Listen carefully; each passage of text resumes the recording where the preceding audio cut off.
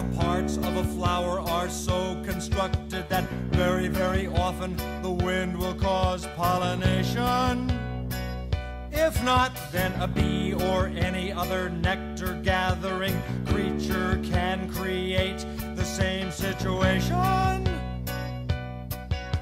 Yes, anything that gets the pollen to the pistils right on the list. I'll try to make it crystal clear. Flower's insatiable passion turns its life into a circus of debauchery. Now you see just how the stamen gets its lusty dust onto the stigma. And why this frenzied chlorophyllous orgy starchy spring is no enigma. We call this quest for satisfaction a what class? A photoperiodic reaction. Oh, that's good. Oh, that's very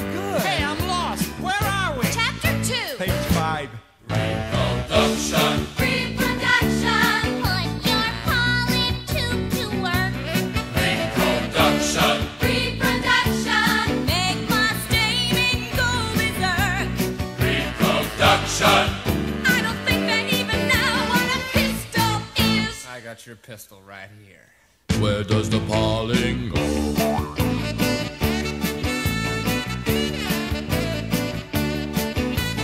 Next chapter. In an abstract way, the same thing applies to the reproductive organs of the more complex life forms. But now we are dealing with sexual response. Are there any questions before we begin reading? Is it possible the female member of some sex on a couch could like get this guy all hot and she never even knew it? When a warm-blooded mammal in a tight little sweater starts pulling that stuff, she's saying that she wants to do it. Can't prove it by me. Cause they changed their tune when you got 'em in the backseat. With his heart beating They fast.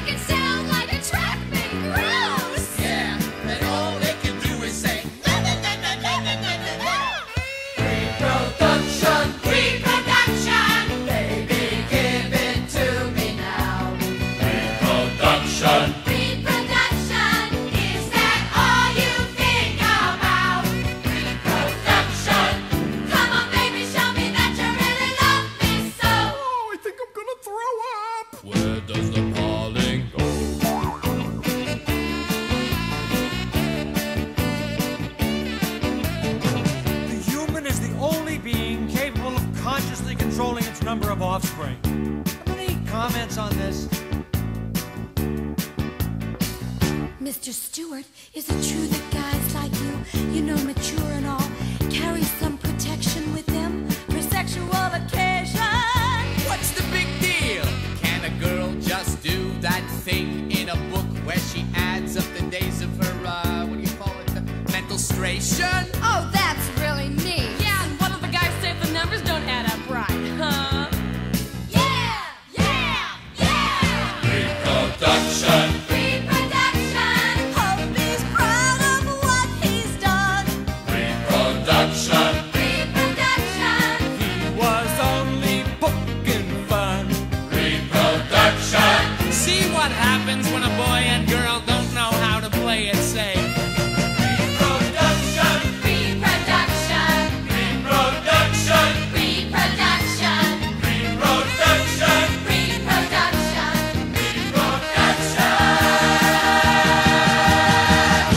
the pollen go?